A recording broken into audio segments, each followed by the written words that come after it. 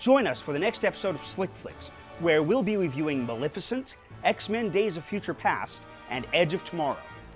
We'll also be discussing the history of time travel in the movies.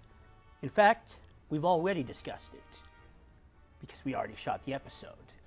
But the episode hasn't aired yet, so we'll be discussing it in the future. Think about that.